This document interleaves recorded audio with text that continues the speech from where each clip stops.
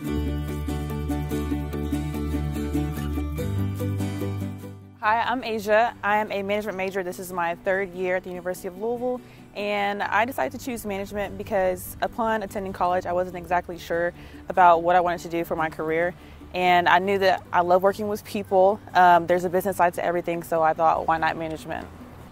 One experience that I think will stay with me throughout my life journey is that of my Management 460 leadership course.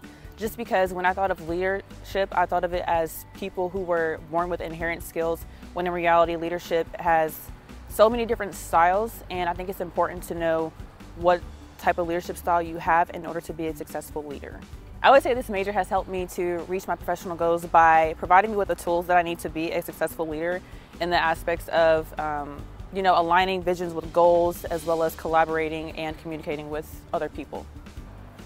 Some advice that I would give to students interested in majoring in management is to take advantage of opportunities always seek feedback. Don't be afraid to take risks. Um, be vulnerable and think about what type of leader you want to be for not only those who you want to lead, but the type of leader you want to be for yourself as well.